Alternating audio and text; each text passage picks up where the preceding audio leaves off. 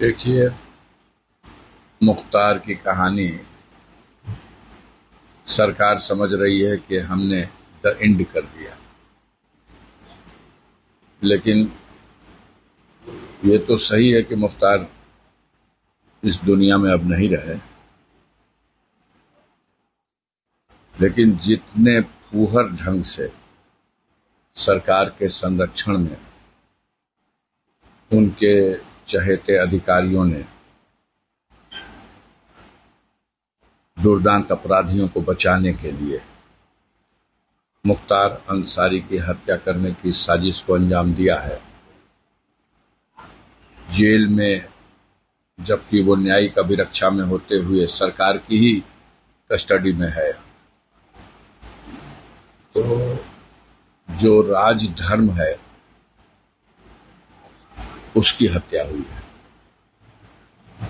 अब कोई इसे अपनी बहादुरी समझ ले तो अलग बात है।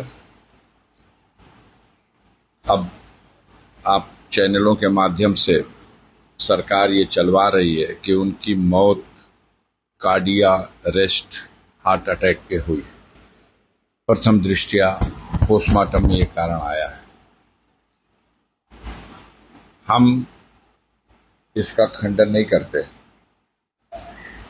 थोड़ी देर के लिए हम इसे मान लेते हैं कि उन्हें हार्ट अटैक भी आया है। तो उस परिस्थिति में उनको पहुँचाने के लिए मैं, मेरा या जो परिजनों का आरोप है, उसी वजह से ऐसा हुआ। उन्नीस तारीख को मुख्तार को जहर दिया गया। जेल में, खाने में मिलाकर जहर दिया गया। मुख्तार ने खुद इसकी कंप्लेन न्यायालय में कराई। उनके वकील ने हमें भी बताया। हमने खुद जेल सुपरिटेंडेंट से टेलीफोन से बात की और उसने बताया कि हाँ तबीयत खराब है, हम लोग डॉक्टर भी दो दो डॉक्टरों का पैनल बाहर से भी मंगाया है और जेल का डॉक्टर, ये तीन डॉक्टर उनका इलाज कर रहे हैं। हमारी ये वार्ता 20 तारीख को हुई। और उन्होंने कहा कि वो ठीक हो जाएँगे। हमने उनसे अपनी बातचीत में ये कहा है कि उनको जहर दिया गया है। और इससे पहले भी उनके बैरिक का खाना चेक करने वाले जेल के कर्मचारी, बंदी रक्षक को भी इस जहर का असर हो गया था। जेल में डिप्टी जेलर जो उनकी जेल का बैरिक का इंचार्ज है, उसने भी एक दिन खाना चेक किया। और उस जहरीले खाने को खा करके वो बीमार हो गया था। और ये दोनों भी, इनकी जान बची है, हॉस्पिटल में पाँच दिन एडमिट रहे हैं तब। और अब की बार ये जहर मुख्तार को भी खिला दिया गया धोखे से। तो इनको एडमिट करा दीजिए। उसने कहा, नहीं, ये ठीक हो जाएँगे, हम इलाज करा रहे हैं। उन लोगों को जो आप बता रहे हैं, सही बात है, तबीयत उनकी खराब हुई थी, हमने एडमिट कराया था। लेकिन उसमें अलग अलग भिन्न भिन्न रिपोर्ट आई। एक में आया पाइजन का लेकिन दूसरे में आया कि गैस थी। तीसरे में कुछ और आया। तो खैर उन, उनकी बात अलग है इनका हम इलाज करा रहे हैं।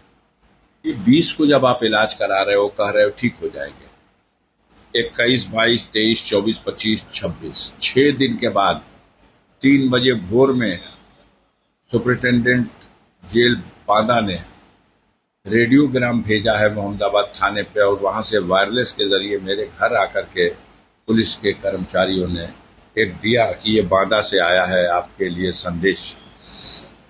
इस सुप्रिंटेंडेंट का।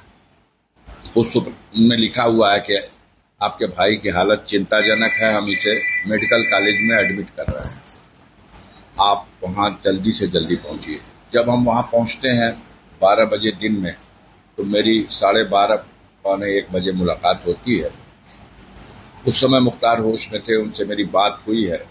लेकिन वो उठ के बैठने की स्थिति में नहीं थे, पेट बहुत ज़्यादा फूला हुआ था। उनका ब्लड प्रेशर अभी भी बहुत कम था। ऑक्सीजन लेवल कुछ मेंटेन हुआ था। उन्होंने बताया, मैं जेल में बेहोश होकर गिर गया था। और अब यहाँ आने के बाद धीरे धीरे मैं होश में आया हूँ। लेकिन हमारा इलाज अगर गंभीरता से लोग नहीं करेंगे तो हमारे बॉडी पे जहर का असर हो चुका है। मुझे जहर दिया गया है। सबके सामने उन्होंने फिर कहा। हमने डॉक्टर से बात किया कि आप रिफर कर दीजिए लखनऊ इनको पीजीआई के लिए या किसी और हॉस्पिटल में।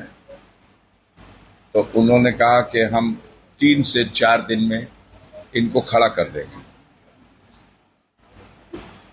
हमने कहा, ऐसा मत करना कि इतनी देर तक अपना, अपने यहाँ समय बिता दो कि कहीं जाके इलाज ना हो सके। डॉक्टर के धर्म का पालन करना, समय रहते रिफर कर देना, अगर कंट्रोल में ना आ रहा हो तो। उसने कहा, हम तीन चार दिन में खड़ा कर देंगे, आप आके फिर मिल लीजिएगा। और मैं वहाँ से चला। और दो घंटा हम सफ़र किए होंगे, इलाहाबाद क्रॉस कर गए, जब तक मुझे वहाँ वकील ने टेलीफोन किया कि, भैया फिर मुख्तार भैया को लोग जेल भेज रहे हैं। हमने कहा, क्या हुआ? तो सारे डॉक्टरों से लिखवाया गया है, कुछ सादे लिबास में अधिकारी आए हैं और सबसे लिखवा लिया है कि मुख्तार फिट है, मेडिकल, मेडिकली फिट है। इन्हें स्वास्थ्य की, लाभ की कोई आवश्यकता नहीं है। इनके शरीर में फ़िलहाल कोई रोग नहीं है।